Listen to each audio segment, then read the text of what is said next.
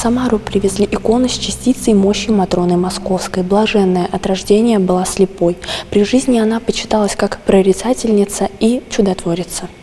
Матрона Московская – одна из главных христианских святых. Когда она родилась, родители хотели оставить слепую девочку в приюте, но матери приснился вещий сон, и она оставила ребенка. Матрона с 8 лет имела способность исцелять больных и предсказывать будущее. Согласно житию, Матрона предсказала свою смерть за три дня, продолжая до последней минуты жизни помогать людям. И после ее кончины люди обращаются к ней за помощью в решении своих проблем. Она помогает воссоединить семьи. Ей молятся о даровании воспитании детей, излечении от тяжелой болезни и об обретении работы.